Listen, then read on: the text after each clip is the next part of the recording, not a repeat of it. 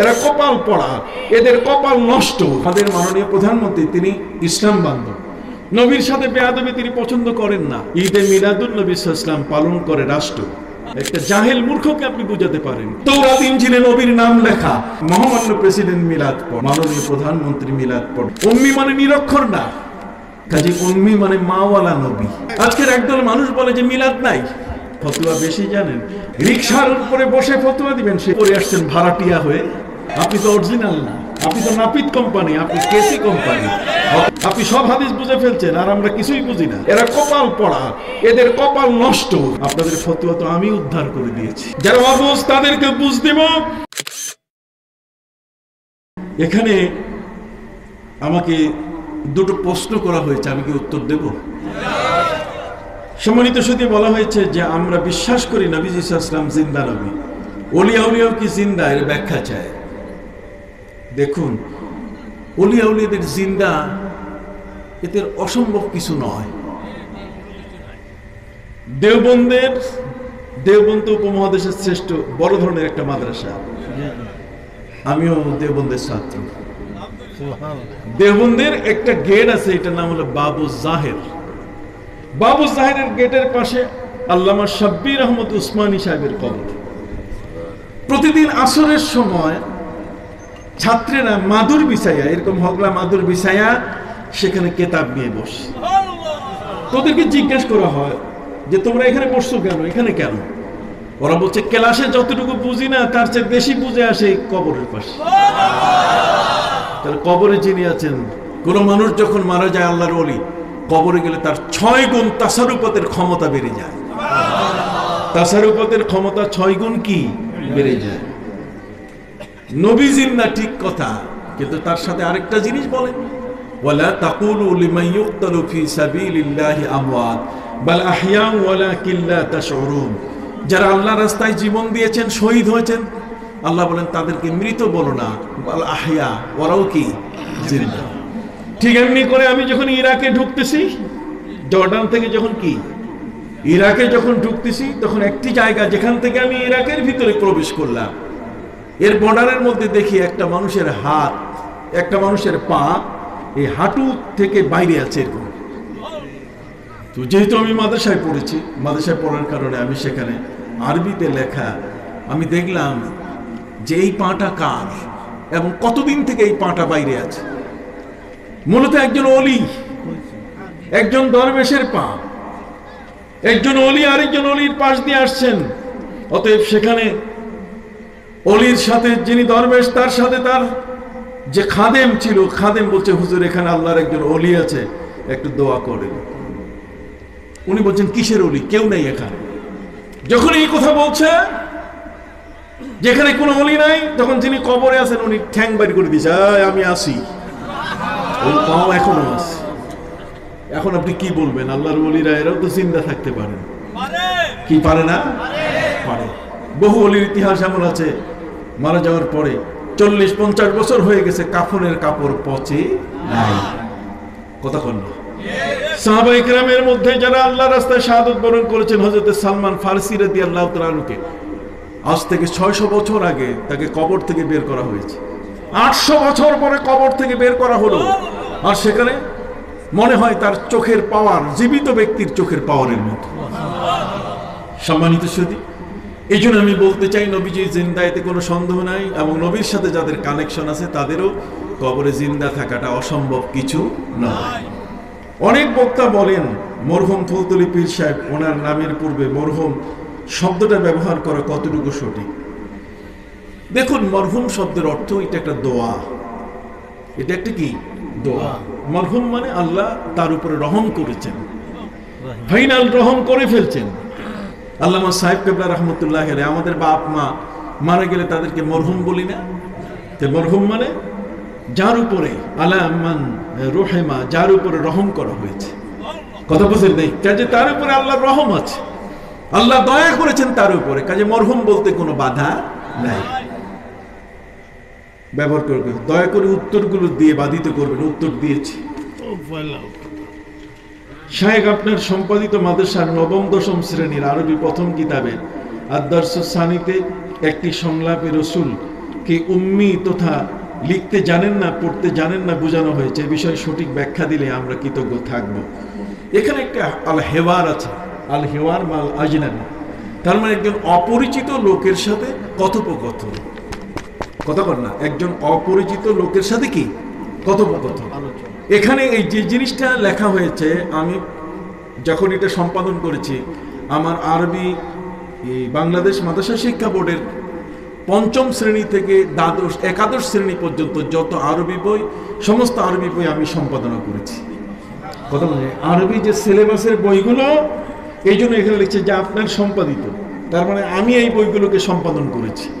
মাদ্রাসা board আমার দায়িত্ব দিয়েছে যে আপনি এটা লেখেন। আমি এই অংশটা দেখার পর আমি তাদেরকে বলছি যে আপনারা খবরদার। এটা রাখবেন না। নবী করিম সাল্লাম উম্মি বলতে গেলে তিনি মাওয়ালা নবী। উম্মি মানে নিরক্ষর না। উম্মি মানে কি? নবী উম্মি, ঠিক আছে, পবিত্র কোরআনে নবীকে উম্মি বলা হয়েছে। নবীকে কি বলা হয়েছে? উম্মি। উম্মি শব্দের অর্থ নবী লিখতে জানেন না। এটা হচ্ছে কিছু কিছু মুফাসসিরের অনুবাদ।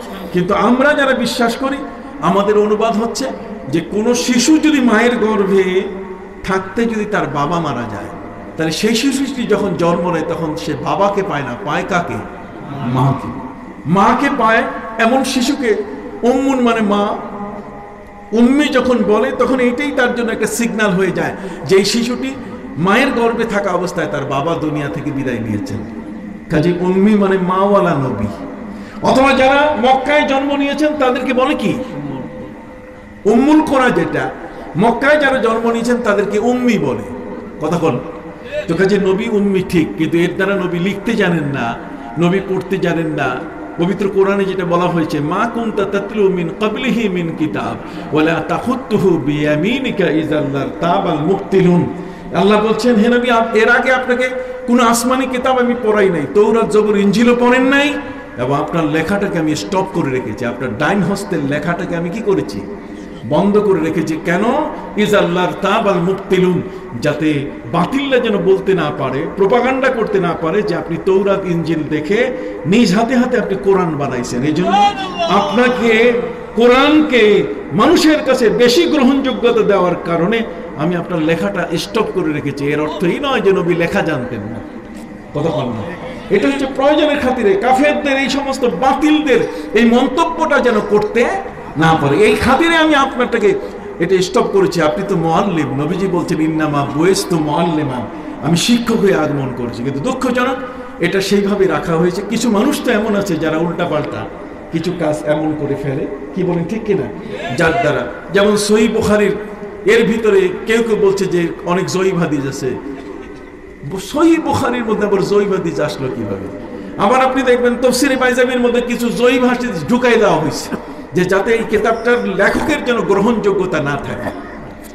লেখকের যেন গ্রহণযোগ্যতা না থাকে। এই জন্য আমরা এটার উপরে আমরা প্রতিবাদ করেছি এবং এটা সংশোধিত আকারে ইনশাল্লাহ চলে আসবে। কি বলেন ঠিক এটা আমরা প্রতিবাদ করেছি। কথা বুঝতে পারেন যাতে কোনোভাবেই এটা আগামীতে আমরা এটা থাকতে দেব না ইনশাল্লাহ কতক্ষণ না। আগামীতে থাকতে কি দেব না? আমাদের মাননীয় প্রধানমন্ত্রী, তিনি ইসলাম বান্ধব। নবীর সাথে বেয়াদবি তিনি পছন্দ করেন না। এক। আরেকটা হলো ঈদে মিলাদুল নবী ইসলাম পালন করে রাষ্ট্র। কি বলেন ঠিক না? আজকের একদল মানুষ বলে যে মিলাদ নাই। কি নাই? মিলাদ নাই। আপনি মিলাদ নাই বলছেন, মিলাদ নাই। মিলাদ নাই কেন? আপনি বলছেন যে দুই ছয়শো বছর পরে আসছে।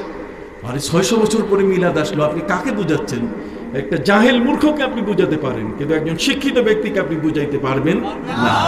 তার কারণ হচ্ছে মিলাদ শব্দটা, এটা দ্বিতীয় হিজরির সমাপ্তি এবং তৃতীয় হিজরির শুরুতে ইমাম তিরমিজি রহমতুল্লাহ আলাই তার জামে তিরমিজির দ্বিতীয় খণ্ডে একটি শিরোনামে তিনি লিখেছেন, বাবু জা আফি মিলাদিন নবী। এখন মিলাদ, আপনি এটা পান না খুঁজে। মিলাদ নবীর জীবন বৃত্তান্ত আপনার খুঁজে পেতে কষ্ট হয়। তাহলে মিলাদ মানে নবীর জীবন বৃত্তান্ত, শিশু নবীর জীবন। কি বলেন ঠিক কিনা? তাহলে আসেন, শিশু নবীর জীবন মিলাদ আপনি বলবেন না, এটা পকেটে রাখি। আরেকটা আছে, সেটা আপনি নেন এটা কোরআনে আছে, আপনি ছয়শো বছর, তিনশো বছর শুরু করছেন কি? পবিত্র কোরআনের মধ্যে আল্লাহ ফখরাবুল আলমিন মৌলুদের কথা বলছে। কি বলছেন মৌলুদ? তো মৌলুদ শরীফ আর মিলাদ শরীফ দুইটা এক জিনিস সিটাগাং আর চট্টগ্রাম, এটার মধ্যে কোনো পার্থক্য না?